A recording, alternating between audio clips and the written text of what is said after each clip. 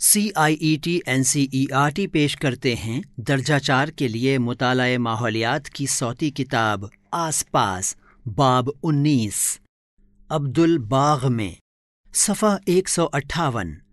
छुट्टी का दिन था। अब्दुल बाग में अपने अब्बू की मदद कर रहा था। अब्बू सब्जियों की क्यारी से सूखी पत्तियाँ और घास निकाल रहे थे। अब्दुल ने भी उनमें से एक क्यारी में से घास उखाड़ना शुरू कर दी।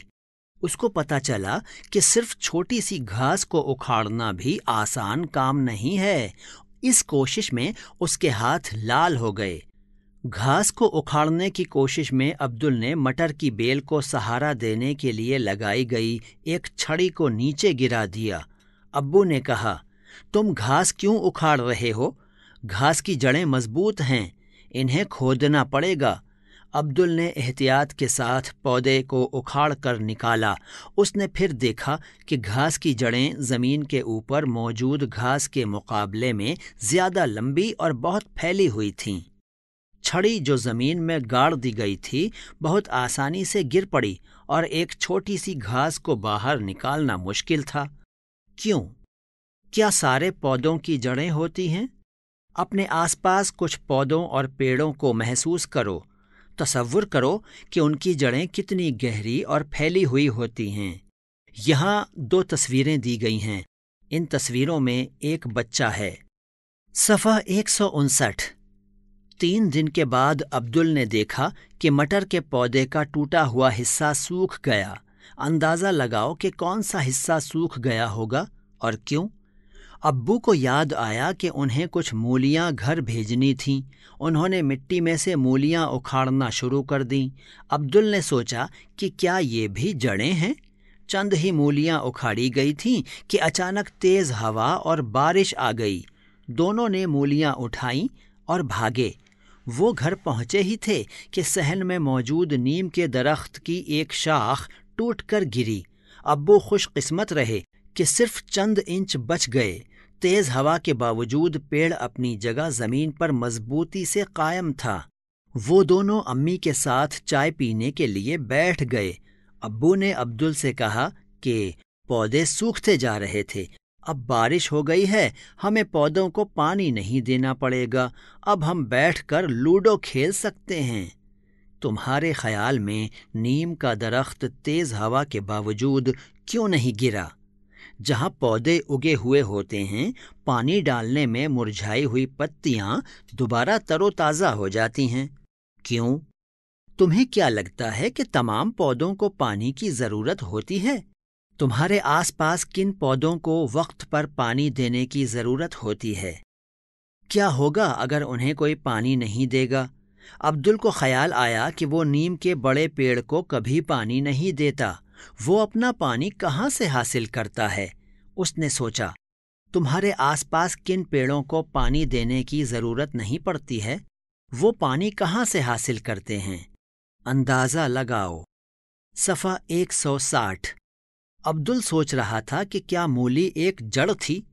उसने ऐसा क्यों सोचा था? मुंदरजा झैल तस्वीरों के बारे में मालूम करो कि इनमें से कौन सी सब्ज़ियाँ जड़ें हैं। यहाँ कुछ सब्जियों की तस्वीरें दी गई हैं। अब्दुल के पास और भी सवाल हैं। आजकल अब्दुल हर किस्म के पौधों के बारे में जिनको वो देखता है, सोचता रहता है। अब्दुल ने स्कूल की दीवार पर एक पौधा उगते हुए देखा। उसको ताज्जुब हुआ। यहाँ एक दीवार की तस्वीर है, जिसमें से पीपल का पौधा निकल रहा है। इस पौधे की जड़ें कितनी गहराई तक गई होंगी? जड़ों को पानी कहाँ से मिलता होगा? ये पौधा कितना बड़ा होगा? दीवार का क्या होगा?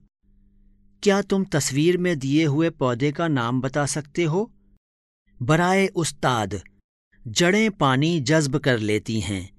इसके तसव्वुर को बच्चों के लिए इस उम्र में समझना दुश्वार होगा। बहरहाल ये ज़रूरी है कि उनको इस बारे में सोचने के मौाक़े दिए जाएँ। मुख्तलिफ़ बच्चे मुख्तलिफ़ सतह की सोच रखते हैं। ये अहम है कि उनकी सोच को अहमियत दी जाए। सफ़ा एक सौ इकसठ। क्या तुमने कभी किसी दीवार की दरार में कोई पौधा उगता हुआ महसूस किया है? वो कहाँ था? जब तुमने उसे महसूस किया तो क्या तुम्हारे दिमाग में कुछ सवाल उभरे? वो क्या क्या सवालात थे? अपने बुज़ुर्गों से बात करके जवाब मालूम करो। तुमने जो दरख्त महसूस किया था उसका नाम मालूम करो। अब्दुल ने एक बहुत बड़ा दरख्त देखा जो सड़क के किनारे गिरा हुआ था। उसको अपने सहन के नीम के दरख्त की याद आ गई। वो इसकी कुछ टूटी हुई जड़ें देख सकता था। अब्दुल ने सोचा, क्या किसी ने इस बड़े दरख्त को उखाड़ा होगा या खुद ही गिर गया होगा? ये दरख्त कितने बरस पुराना होगा? अब्दुल ने एक पेड़ को सीमेंट के पक्के फर्श से घिरा हुआ देखकर सोचा, इसको बारिश का पानी कैसे मिलेगा? यहाँ दो तस्वीरें दी गई हैं। एक तस्वीर में एक पेड़ पड़ा हुआ है, दूसरी तस्वीर में एक पेड़ खड़ा हुआ है, लेकिन उसके इर्द गिर्द सीमेंट का पक्का फर्श है। आइए गुफ्तगु करें। तुम्हारे इलाके में सबसे पुराने दरख्त कौन कौन से हैं? अपने बुज़ुर्गों से मालूम करो कि वो दरख्त कितने पुराने हैं। उन जानवरों के नाम बताइए जो उस दरख्त पर रहते हैं। क्या तुमने कभी कोई बड़ा दरख्त महसूस किया है जो नीचे गिर गया हो? जब तुमने उसको महसूस किया तो तुमने क्या सोचा? गैर मामूली जड़ें। क्या तुम कभी किसी बरगद के पेड़ से झूले हो? तुमने झूलने के लिए क्या पकड़ा था? सफ़ा एक सौ बासठ। बज़ाहिर जो झूलती हुई शाखें महसूस होती हैं, वो हकीकत में पेड़ की जड़ें हैं। ये शाखों से नीचे लटकती जाती हैं, यहाँ तक कि ये ज़मीन तक पहुँच जाती हैं। ये जड़ें खम्भों की तरह होती हैं, जो पेड़ को मज़बूत सहारा देती हैं। बरगद के पेड़ की जड़ें बाकी सभी पेड़ों की तरह ज़मीन के अंदर भी होती हैं। दरख्तों को काटने के खिलाफ एक कानून भी है। बिजली के खंबे के नज़दीक एक दरख्त उग रहा था। दरख्त पत्तियों से इतना ज़्यादा भरा हुआ था कि पत्तियों की वजह से बल्ब की रोशनी रुक रही थी। लोगों ने सोचा कि दरख्त की शाखें थोड़ी छांटनी चाहिए। ऐसा करने के लिए उन्हें सरकारी दफ्तर से एक तहरीरी इजाज़तनामा हासिल करना ज़रूरी है। यहाँ बरगद के एक पेड़ की तस्वीर है। इस पेड़ की शाखों से बच्चे लटक रहे हैं।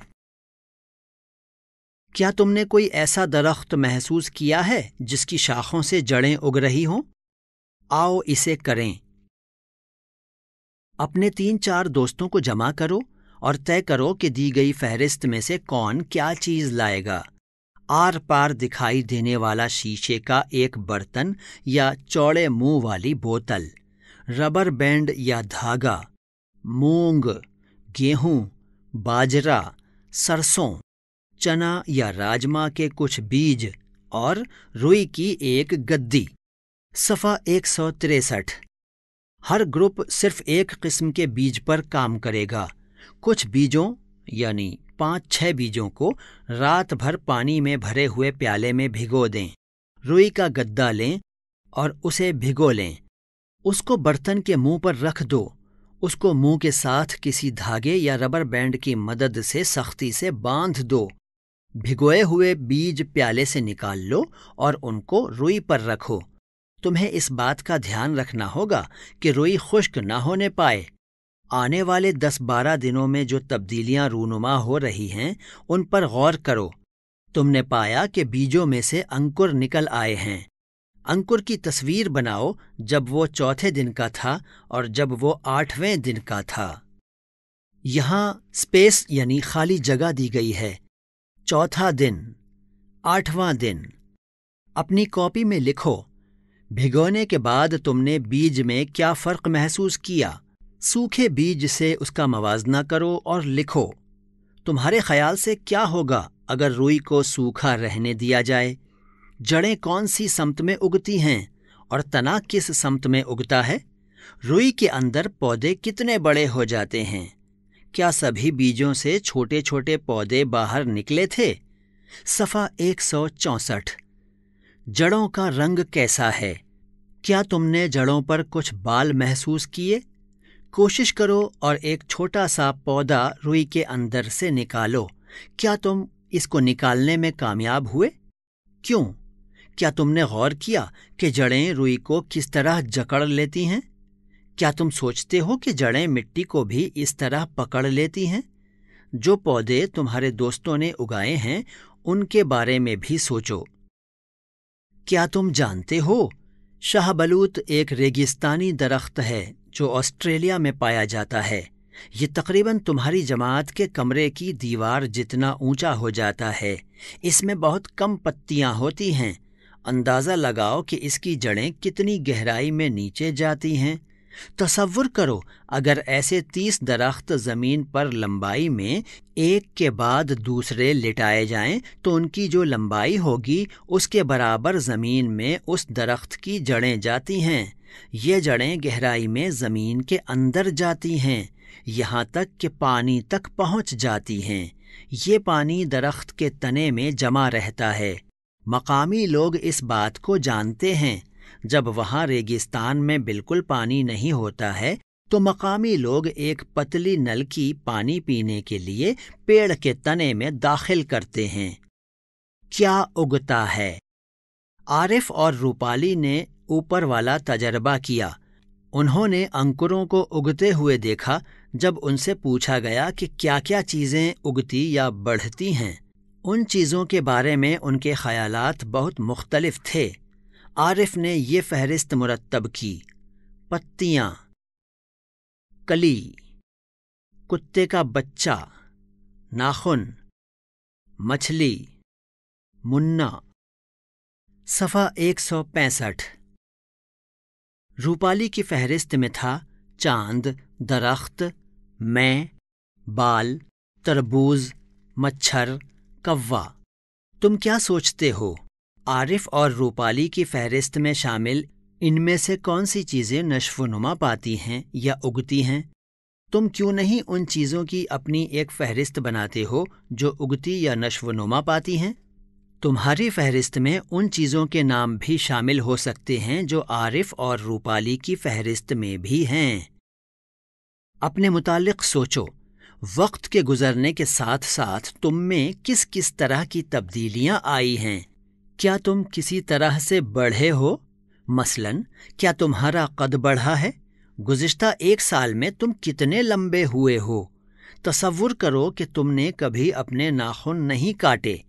अपनी कॉपी में अपनी उंगलियों की तस्वीर बनाओ, ये दिखाने के लिए कि वो कैसी लगती होंगी। हमारे जिस्म के बढ़ते रहने वाले और किन किन हिस्सों को हम बाकायदगी से काटते रहते हैं? आलमी योम माहौलियात या किसी दूसरे मौके पर स्कूल या कॉलोनी में पेड़ लगाने के लिए बच्चों की हौसला अफजाई की जाए। उनसे कहिए कि अपने पेड़ पौधों की देखभाल करें। इसी के साथ सत्ताईस अबवाब की इस सौती किताब का उन्नीसवां बाब यहीं ख़त्म होता है। आवाज़ मोइनुल हसन नियाजी। तकनीकी नियंत्रण, बटी लैंगलिंगडो। तकनीकी सहायक, विकास सांगवान। निर्माण सहयोग, जगबंधु जाना, निर्माण एवं निर्देशन, वंदना अरिमर्दन, तथा प्रस्तुति C I E T N C E R T नई दिल्ली, भारत।